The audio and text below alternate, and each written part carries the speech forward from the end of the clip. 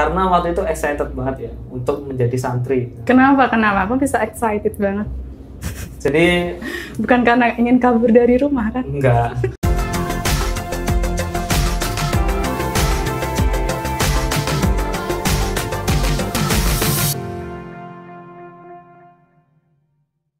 Halo, Assalamualaikum warahmatullahi wabarakatuh. Kembali lagi bersama saya Ariandani di acara Podcast Tutur Mama. Nah, Mams, kalau biasanya kan saya ditemani sama bunda-bunda nih, sama mama, sama ibu, eh, untuk ngobrol-ngobrolnya. Kali ini ada yang berbeda, karena saya akan ngobrol-ngobrol dengan calon bapak, insya Allah.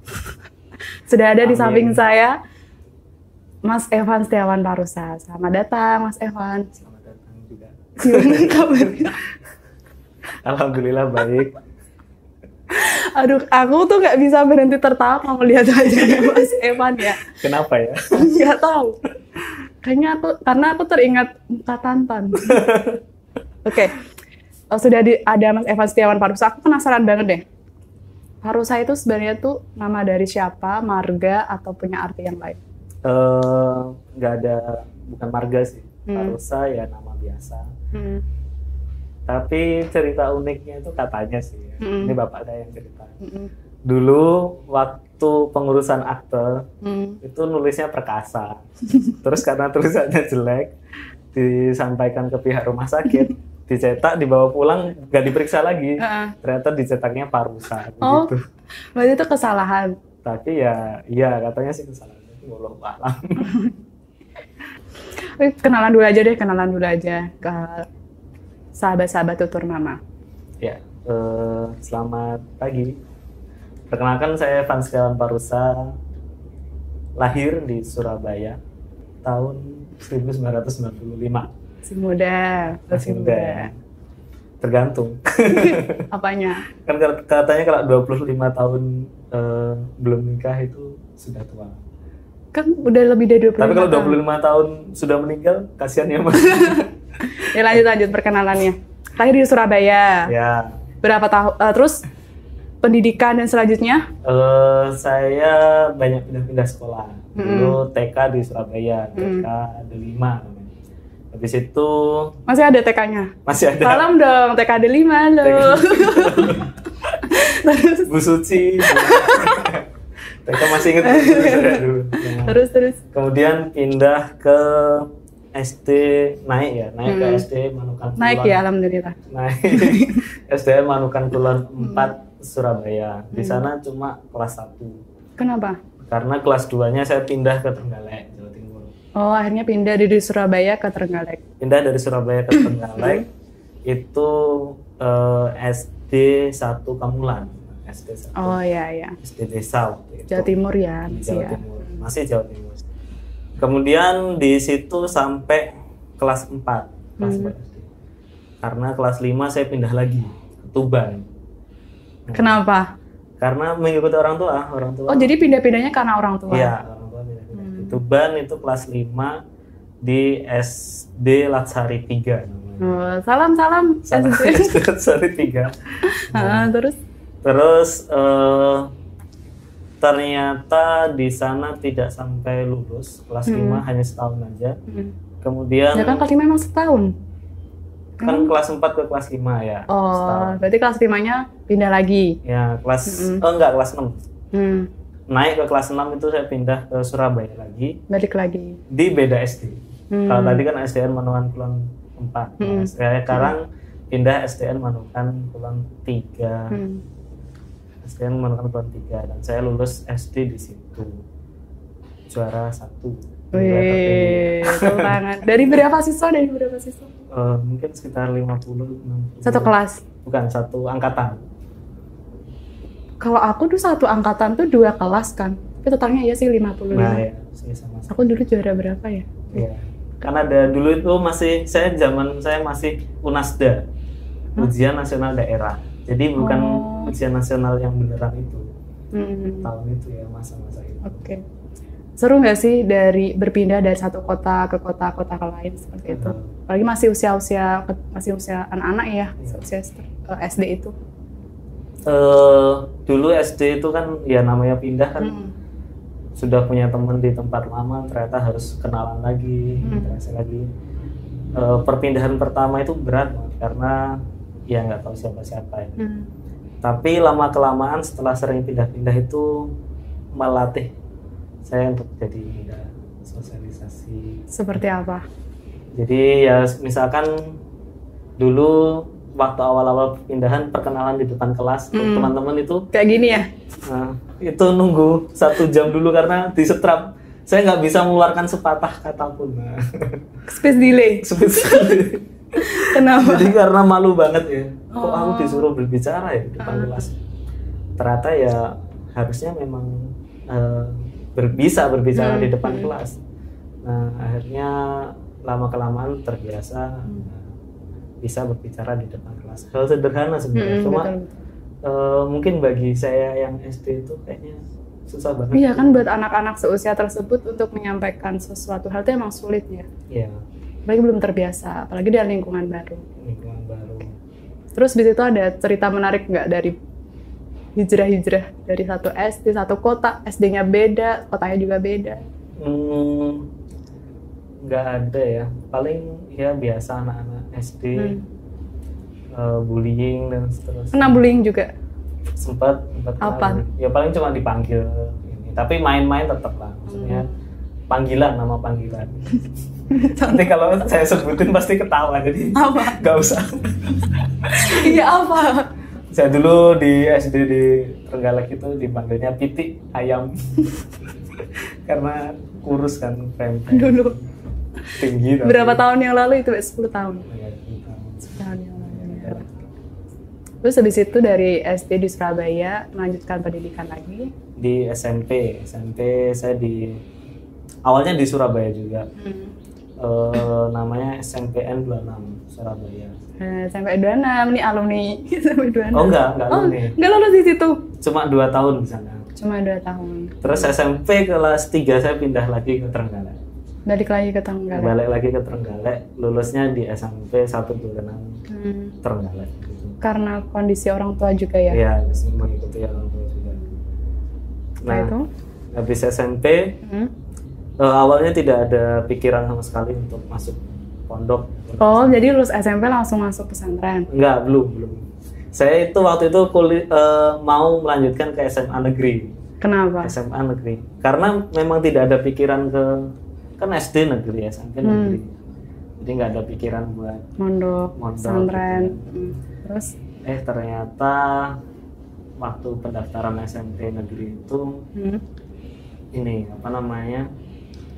Eh, ujiannya susah karena waktu itu ada istilah SMP eh, internasional gitu. Oh, sekolah standar nasional. Ah ya, sekolah standar nasional. Ada kan dulu ada RSBI, Nah, iya. Sekolah Berstandar Internasional sama yang nasional. Kamu Mas Evan ngajar yang Iya. standar. Standar internasional. Hmm, hmm. SMA 1 Boyolangu Tulungagung. Ya, beda Hmm, kota, hmm, tapi dekat. hmm. Tapi nggak masuk dan keinget pesan ibu, ya ibu sebelum apa meninggal itu Hmm. disuruh mondok sebenarnya. Oh, Ibu berpesan seperti itu. Pesan. Terus ya kepikiran lah coba masuk pondok. Eh, pertama kali masuk pondok itu tertarik, diajak. Hmm. Siapa Ini yang ngajak? Bapak, Hmm. bapak eh, ngajak ke pondok modern Dokter 2 waktu itu Oh. dan lihat-lihat suasananya gitu, Hmm. lihat santri-santri. Tapi itu inisiatifnya Mas Evan sendiri atau emang Bapak yang ngajak? Eh, iya bapak yang ngajak, Hmm. terus ya saya nggak nolak, juga Hmm. pengen tahu. Hmm.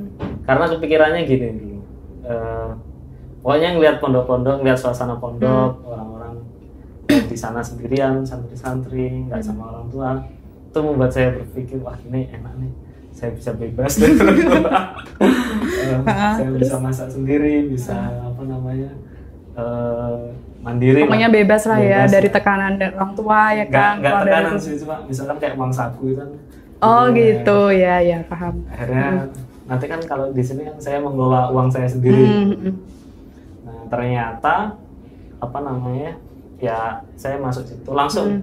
jadi waktu itu cuma rencananya lihat-lihat Hmm. tapi ternyata sedang ada pendaftaran dan seterusnya ya sudah sekalian daftar. Sekalian. Hmm. dan jadinya nggak pulang makanya pada waktu itu juga belanja semua kebutuhan untuk Langsung. itu langsung di situ. Kan biasanya tuh kalau di pesantren itu kan ini ya belanja barengnya kakak tingkat kayak gitu.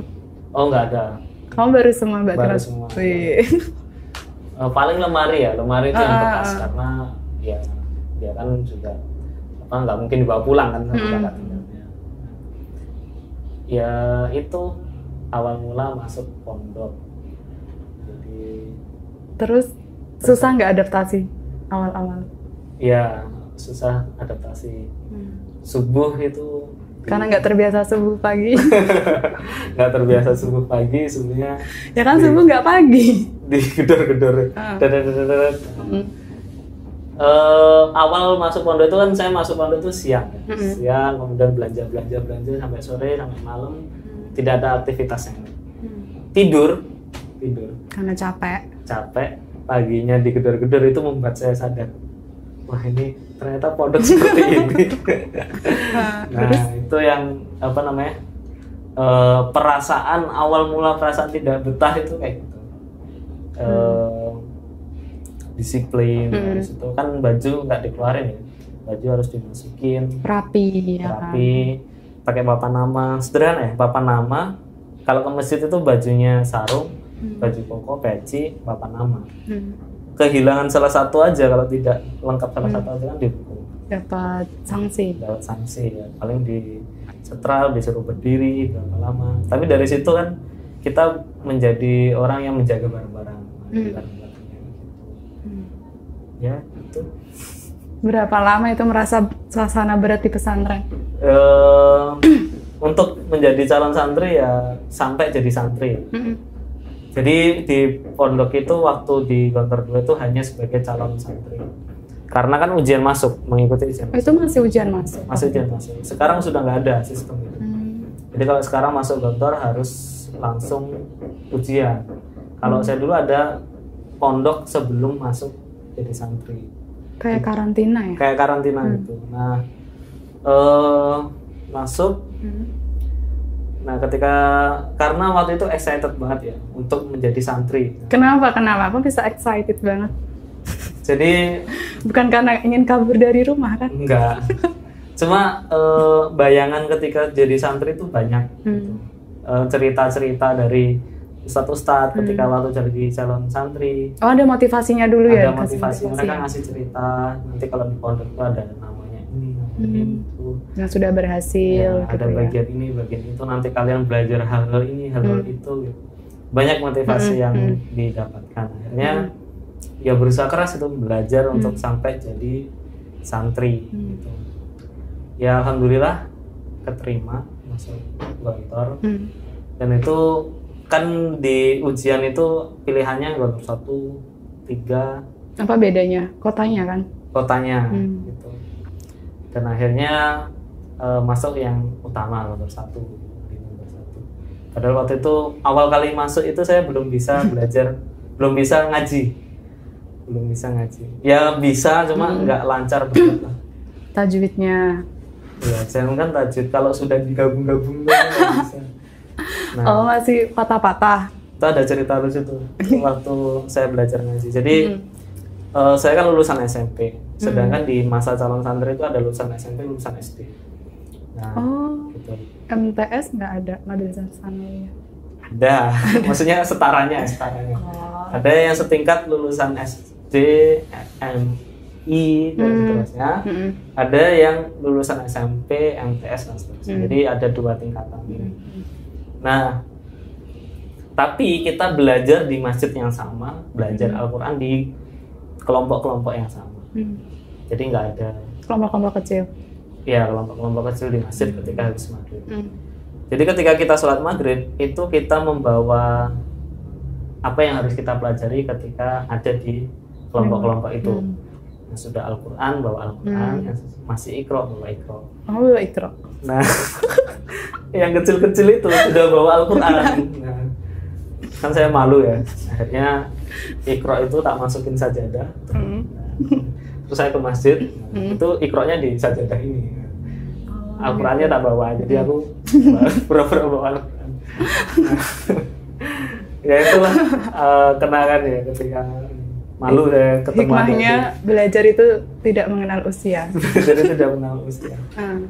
tapi kan semangat gitu Mm-mm. pokoknya aku harus bisa secepat mungkin bisa Al-Quran gitu. Hmm, tapi kan mas kadang masih banyak juga yang berpikir eh, apalagi di Gontor kan, mesti disiplin banget, ketat banget gitu. Kadang bahkan ada orang yang nggak betah kan di sana. Kok bisa Mas Evan? Berarti sampai selesai di Gontor. sampai selesai nah eh, ya banyak masa-masa Hmm. tidak betah itu banyak banget dari mulai waktu jadi santri pertama tahun pertama Hmm. santri tahun kedua itu momen tidak betah itu banyak tapi Penyebabnya apa? Ya disiplin kemudian apa ya? Disiplin itu kayaknya yang paling tinggi itu disiplin itu disiplinan dan itu menyebabkan banyak sekali uh, hukuman-hukuman yang baru. yang kedua waktu itu saya punya pikiran sangat naif ya. Hmm. yaitu berbunyi semua masalah bisa disel- diselesaikan dengan uang. Karena kayak gini di pondok. Eh, hal sederhana sandal hilang sandal Hmm. hilang kalau saya nggak pakai sandal ke masjid Hmm. itu boleh-boleh aja tetapi kan harus melewati hukuman dulu Oh iya. gitu tapi kalau aku beli nanti eh, apa namanya ya aku mengeluarkan uang kan Uang. nah itu dalam hal sandal begitu pula peci itu Tapi itu sering hilang. ya ada sih Hmm. ya nggak sering tapi agak sering ya santri-santri yang nakal Hmm. gitu kan juga. Atau saya sendiri yang lalai lupa Hmm. naruh atau apa nah kemudian makan nih Hmm. misalkan makan itu kan harus membawa piring yang sudah diberi nama Oh iya, Gitu. punya sendiri-sendiri Punya kan. sendiri-sendiri gitu. sama membawa kupon Hmm, hmm, hmm. Jadi setiap bulan itu kita santri dikasih kupon makan membawa itu ke dapur umum Hmm, hmm. eh, nanti baru dikasih nasi. Nah di sana itu ada pemeriksaan. Kadang-kadang piring saya misalkan pecah, gitu. Hmm. hanya mau hanya sekali jatuh itu pecah.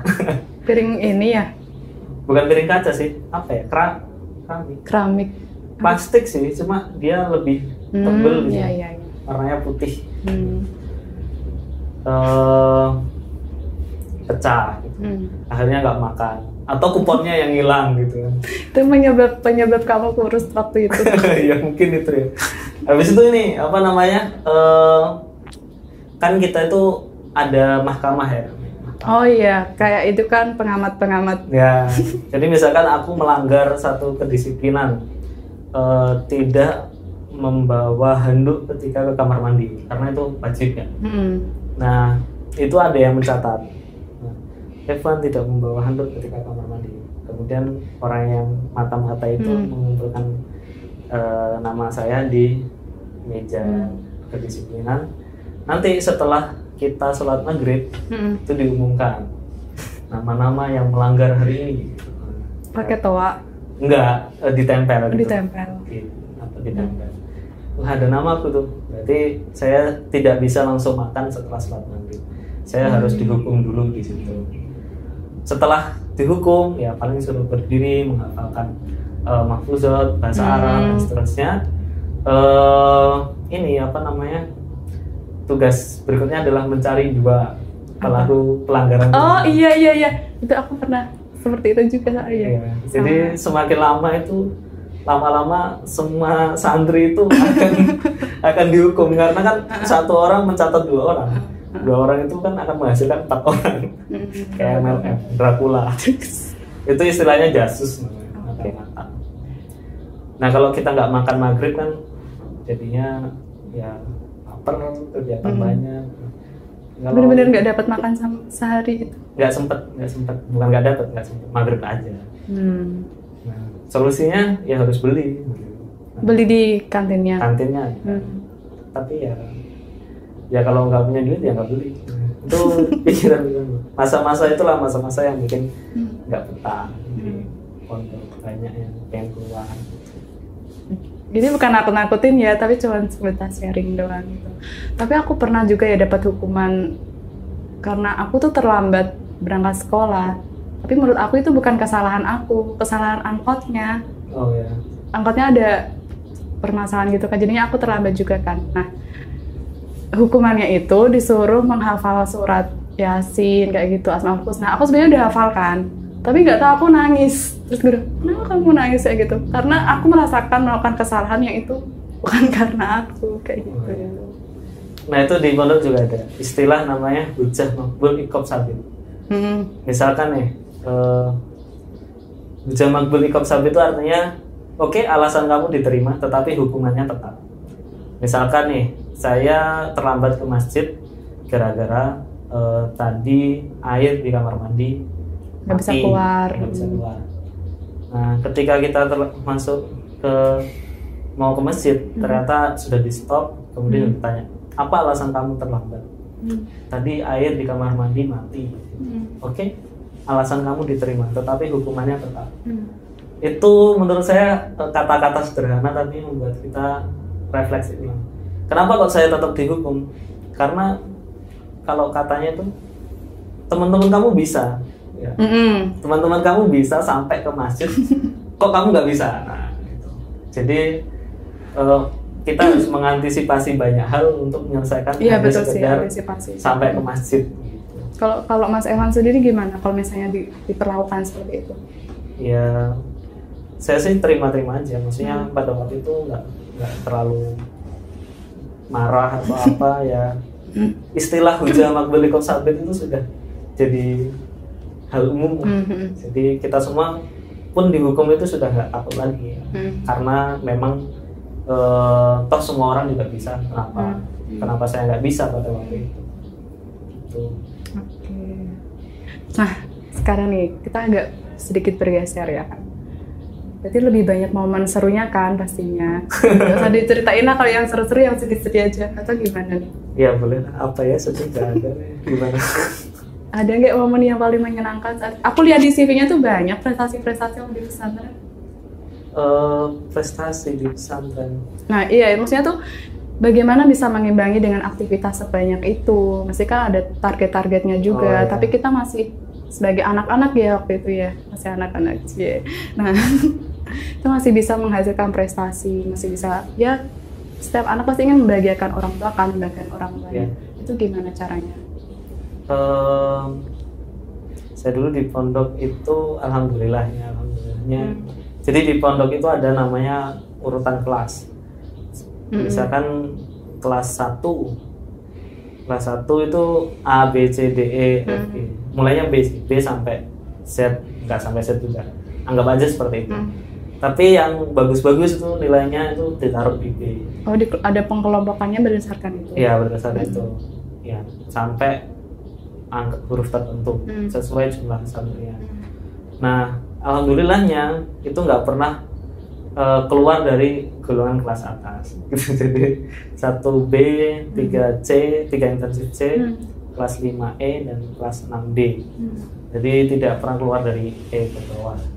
Hmm. Terus eh, mengimbanginya dulu saya ikut ini marching band. Oh, lulusan kurus ya dulu ya.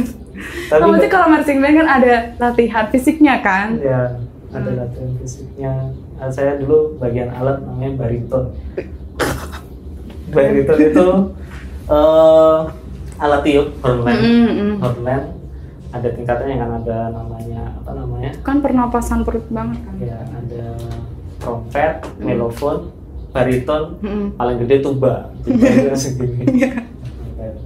Eh, kenal influencer yang Hisam Farhan kemarin? Iya. Eh Hisam. Hisam Farhan, influencer Nova itu. Dia itu juga marching band. Oh iya. Tapi dia bagian kit, eh, Oh, kit iya ya, pik yang kecil. Ya. Gitu. Dia di kit, saya yang angkat-angkat berat dia. yang- Ya. ya eh, justru yang kayak gitu mengimbangi sih. Jadi Hmm. disiplinnya keras, tapi kalau kita ke UKM ke ekstra itu kan Hmm. happy, enjoy. Hmm. Jadi bawahnya menurut saya yang mengimbangi dan bikin betah itu di tempat-tempat yang kayak gitu. Hmm. Ada apa aja sih dulu di Gontor ekstrakurikulernya? Banyak banget. Ada marching band, Marching band itu satu-satunya ekstrakurikuler yang bisa berkunjung ke pesantren putri. Jadi itu motivasinya. Beneran? Beneran, Oh. karena kan setiap tahun ada yang namanya khutbatul ars. Khutbatul ars itu Mm-mm. orientasi Hmm. si eh, santri. santri gitu. Nah itu kan ada agenda upacara besar Hmm. gitu. Nah, seluruh santri upacara Hmm. ada penampilan-penampilan. Oke, gitu. kamu ikut juga? Saya ikut juga keliling ke pondok-pondok naik bis gitu. pesantren putri. Ah. Meskipun ya, ya ternyata gitu doang gitu terus. enak. tapi tapi dulu kan masih punya bayangan-bayangan yang wah kayak gitu kan awal-awalnya. bayangan-bayangan apa nih? Oh saya kan dikenal banyak orang kayak gitu-gitu. Enggak juga. Biasa Saya kan marching band satu marching band Tapi 60 orang. Cowok semua ya. Cowok semua. Hmm. Dan yang lebih ganteng banyak. Hisham apalagi. Kenapa jadi ngomongin Hisham? Hisham harus mantan ini ya. Terus Oke. ya kan Apa selain apa tadi marching band terus ada apa lagi? ada yang paling terkenal tuh namanya Persada, Persatuan Silat ya. Hmm. Karena di situ diajarin sil eh bukan silat, senam. Senam apa silat? Gimnastik, gimnastik, senam. Oh ya. Dia bisa salto-salto, Iya, iya, iya. bisa loncat tinggi. Jatuh dari lantai dua lantai satu nggak mati gitu. Mereka bisa itu gitu ya. Eh, kenapa nggak ikut itu waktu itu? ya itu persyaratannya untuk masuk itu itu harus bisa split Nah, saya nggak mampu bayangin harus bisa split latihan habis itu lari jarak jauh gitu kan Tapi kan marching band juga latihan fisik juga. fisik juga tapi kan nggak nggak split Sengoyo juga itu kan. Kalau emang Mas Evan dulu kalau eh, apa namanya latihan fisik marching bandnya apa kan kadang kalau ada tuh yang naik turun tangga lari kayak gitu. iya lari paling banyak lari untuk karena kan Pernapasan kan. pernapasan Hmm. jadi kapasitas eh, nafas itu harus bisa Hmm. ya itu sih sama teriak-teriak di bak mandi nah Iya, itu iya. nahan apa Iya. namanya di dalam tekanan kan, Udara. ya harus bisa ngeluarin nah, Hmm. itu Gitu. Jadi ngimbanginnya biar bisa tetap berprestasi, tetap harus ada hiburan ya. ya gitu. Salah satunya ikut ekstrakurikuler. gitu. Tapi nih ya kita agak agak mulai keluar sedikit ya. Kan kadang itu ada orang tua yang sudah menggebu-gebu atau memplanning gitu kalau anaknya udah umur sekian terus nanti masuk pesantren. Tapi ada juga orang tua yang merasa takut untuk masuk pesantren. Apalagi ini kan ada isu-isu yang kurang baik juga ya Mhm. uh, di tengah masyarakat kita seperti ini. Nah, kalau menurut Mas Evan sendiri gimana pendapat Mas Evan tentang ini? Eh, ya saya melihat orang tua ya Hmm. di saat masa-masa kritis gitu misalnya nggak betah nah, itu ada masa-masa nggak betah Maksudnya uh, si anaknya nggak ya betah Hmm. Itu justru orang tua yang harus menguatkan. menguatkan gitu. karena tidak sedikit orang tua yang memanjakan misalkan jadi ada istilah itu namanya titip menitipkan anak ke pondok itu ya harus ikhlas Hmm. jadi dititipkan anaknya di pondok ya apa pun yang terjadi di pondok itu sudah diserahkan kepada kiai Niat makanya ya ya itu yang di misalkan nih waktu saya masa-masa kritis pengen pulang banget rasanya itu karena Berapa bulan mondok itu? Oh iya, bahkan itu sudah kondisi senior, hampir senior. Jadi tekanan terbesar itu bukan ketika Awal-awal. awal-awal, tapi hampir senior. Semakin tinggi pohon, semakin kencang angin. Semakin kencang menerpa. Nah, hampir senior ya, bukan senior. Karena kalau udah senior banget itu udah menguasai lah. Mau ngapain aja di pondok sudah terserah. Iya, iya. Mau tidur di depan di depan ustadznya itu nggak apa-apa. Nah, Oke. di hampir senior itu ditekan sama senior. Hmm. waktu itu nggak betah banget nah sempat pengen pulang gitu Hmm. Sama orang tua ya eh, posisinya sudah hampir nih masa Hmm. ya kamu mau pulang gitu dan apa ya eh, pesan orang tua apa, dia bapak itu bilang gini Hmm. Eh, jajal awak mendah matio maksudnya Apa artinya? eh, ya misalkan dihukum fisik, Hmm. dihukum apa itu nggak mungkin kamu mati kan. Hmm. Dan apa yang bikin kamu jajal awak itu coba aja badanmu itu, Hmm. nggak mungkin kamu mati gitu. Disuruh lari keliling 100 kali ya keliling aja 100 kali nggak mungkin kamu Hmm. mati. Gitu. Nah, itu yang bikin malah bikin semakin kuat Hmm. katanya. Nah posisi orang tua itu harus menguatkan kayak gitu jangan sampai malah pengaruh ya nggak sih kalau misalnya orang tua kan kita di pesantren itu kan ya hidup sendiri terus juga harus berbaur sama teman-teman juga kalau misalnya orang tua khawatir kayak gitu mempengaruhi kondisi anak di pesantren nggak? Iya kadang-kadang juga uh, akan mempengaruhi hmm. itu tadi orang tua harus ikhlas gitu menitipkan hmm. santri ke dalam hmm. Apa pun yang terjadi di pesantren ya anaknya didoakan anaknya di, biasa diikhlaskan hmm. kayak gitu sih. Nah, yang tadi paradigma masyarakat yang mungkin masa masih takut, terus kemudian ada trauma juga, apalagi banyak kan tadi isu-isu yang bermunculan saat ini kasus-kasus ya asusila di pesantren seperti itu. Mungkin Mas Evan di sini bisa menyampaikan kepada orang tua, kepada mungkin adik-adik di sini yang mau niatan untuk masuk pesantren kayak gitu.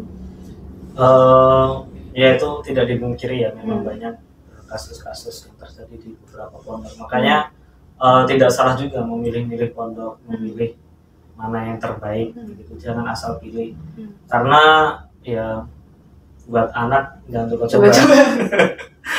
buat anak jangan coba-coba, pilih yang terbaik, diteliti hmm. riwayatnya. Hmm. Kemudian yang kedua itu uh, sebenarnya ini beberapa cara pondok pesantren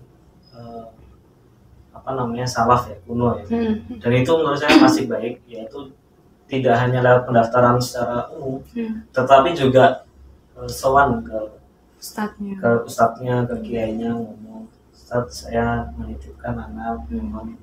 apa namanya tangganya bukan nanti uh, terus anaknya akan diperlakukan spesial hmm. hmm, hmm. tetapi dengan adanya ngomong itu apa ya uh, kita merasa lebih lega hmm. hmm kalau misalkan dengan prosedur yang cukup ngikutin alurnya aja ya, masih kurang ya masih kurang ya ngomong terus hmm.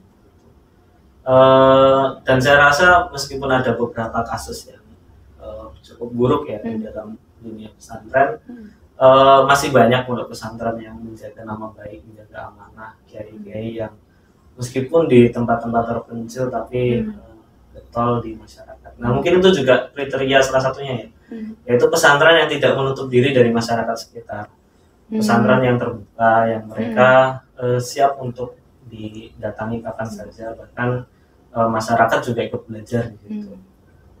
uh, mungkin itu ya yang bisa membuat masyarakat kembali percaya kepada hmm.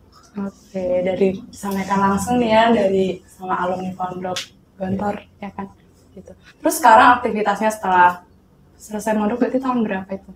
Tahun 2000 selesai jadi santri 2014. 2014. Setelah itu aktivitasnya lanjut pendidikan. Ya, saya pengabdian dulu. Pengabdian oh, ada pengabdiannya. Pengabdian hmm. itu sekaligus melanjutkan pendidikan. Jadi oh, gitu. uh, diperbolehkan menjadi ustadz, menjadi guru hmm. atau pengabdian di mana pun hmm. sembari kuliah. Hmm. Nah, waktu itu saya kuliah di Unida, Universitas hmm. Darussalam Gontor. Hmm uh, mengambil jurusan uh, keselamatan kesehatan kerja di empat ya. Tapi nggak selesai, cuma dua tahun. Ya, apalah setengah ya. Setengah. Terus saya ke Jogja ke sini. Oh, dari berkeliling Jawa Timur sampai pindah Jogja. Ya, saya pengen mengikuti gudeg, gudeg Boyum. Daerah Jawa Tengah Jogja, di Jogja. Bukan di Jogja, bukan Jawa Tengah. Iya, Iya, Jogja. DI Yogyakarta. Di mana orang Jawa Tengah kalau nanti kamu? Uh, di UNJ tahun 2016 saya menjadi mahasiswa baru di Universitas Negeri Yogyakarta dengan pendidikan. Manajemen pendidikan. Kenapa milih itu? Uh, saya senang dunia. Apakah pendidikan. khawatir dengan kondisi dunia pendidikan di Indonesia? Ada. Oh ya? ada tulisan saya di blog kenapa saya memilih Wih, apa blognya? Apa blognya? Apa yang? Setiawan Parusa, Setiawan Parusa WordPress.com. Oh. Semoga jadi Setiawan Parusa.com. Gak pakai WordPress. uh. Udah dua tahun, uh, ternyata nggak selesai juga. Saya hmm. keluar dari PNJ, kebanyakan cuti. Hmm. keluar ya, sekarang aktif di ya masih kegiatan-kegiatan uh, dakwah Islam, hmm. bantu-bantu ustaz, hmm. sama tertarik dunia media sih. Oh, kenapa itu? Ya karena bisa ya su- suka Bisa, ngotak-ngatik komputer. gitu. Tapi kalau menurut Mas Evan sendiri, gimana sih perkembangan media di Indonesia sendiri khususnya? Eh, ya nggak tahu ini bidang media. ya perkembangan media seperti itu. Tahun 2022 insight katanya itu eh, eh, TikTok catching up. Mm-mm. Habis itu apa? Nama influencer akan menjadi salah satu opsi marketing. Hmm. Tapi itu, itu informasi umum lah saya rasa bukan aku yang sampai Oke, gitu. Tapi eh, apa ya? Kemarin kan kita sempat ngobrol-ngobrol juga ya sama Bu Farah tentang media, tentang digital. Media itu kan berarti kan nggak jauh-jauh dari di- digital kan? Digital itu bisa menjadi dua mata pisau juga kayak gitu. Kalau dari Mas Evan sendiri gimana? dua mata pisau. Ya satu mata pisau atau dua mata pisau juga berbahaya sama-sama berbahaya. Iya, betul. Eh, kan tergantung bagaimana kita menggunakan pisau itu. Hmm. Eh, ini ada satu perkataan seorang syekh, Syekh Ramadan Al dia bilang, Hmm. eh, Mas Rukun tahu nih Mas Rukun. dakwah itu harus dengan alat komunikasi paling modern pada zaman Hmm. beliau menyampaikan itu di kitab yang sudah sangat lama tahun-tahun yang lalu artinya beliau berpandangan bahwa media komunikasi itu akan sel- selalu berganti Berkembang. radio kah atau media dan itu memang harus dikuasai bukan dikuasai maksudnya harus dimanfaatkan Iya. sebaik-baiknya oke lah di dalam media itu ada ya yang buruk lah Hmm. dan seterusnya terus apa kita biarkan media itu menjadi alat untuk orang-orang buruk Hmm. kita isi juga dong biar bisa jadi jumlahnya akan Hmm. banyakkan kita banyakkan yang baik Harus seimbang juga ya. Iya. kalau misalnya kita yang melihat masih banyak hal-hal buruk ya udah kita yang mengimbangi dengan hal-hal yang baik aktif di akun-akun media? Aktif, lumayan. Dengan konten-konten? Bebas. Yang penting konten. hiburan. Oke. Tapi adalah closing statement dari percakapan kita ini terutama tadi tentang kehidupan di pesantren terus tentang ya karena Evan fokus di media. Mungkin generasi-generasi selanjutnya bisa disampaikan pesannya? Eh, pesannya adalah untuk pendidikan itu cari yang terbaik. Hmm. dan jangan kalau misalkan ada kompetisi di sana ya jangan minder karena itu demi kebaikan kita di masa depan. Terus media jauh banget pesantren media. Kalau media sih ya dipergunakan sebaik-baiknya. Dan jangan ketinggalan. Gitu karena eh, masa depan itu sangat dinamis kita ada di era futsal namanya Iya.